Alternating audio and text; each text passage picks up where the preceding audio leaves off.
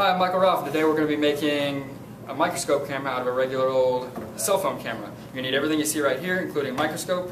You'll need a slide with something on it. And there's another video to show you how to do that. Once you've got it made, make sure you have it with you.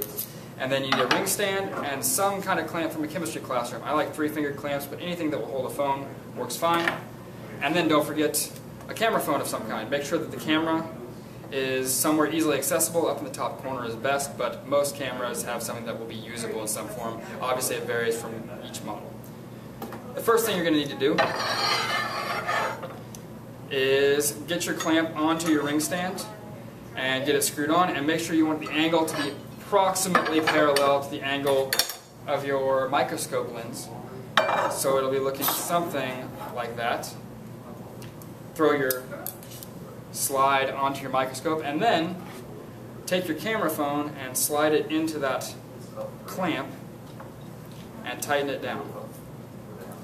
Now, when you align it with your microscope, you're going to notice that you want about an inch, maybe a little more space between the phone and the lens. And basically what you want to have in mind is that this camera needs to be right at the same spot as your eye would be if you were looking through the microscope.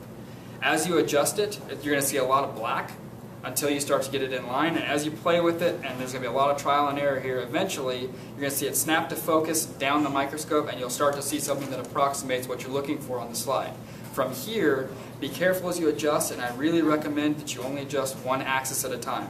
So as you want to get it centered, you want to rotate it about the z-axis and try and keep it the same height and the same distance from the lens.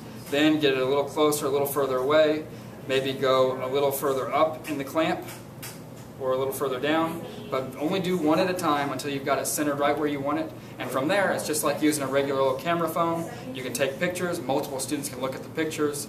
Basically do whatever you need to do in the lab. Good luck.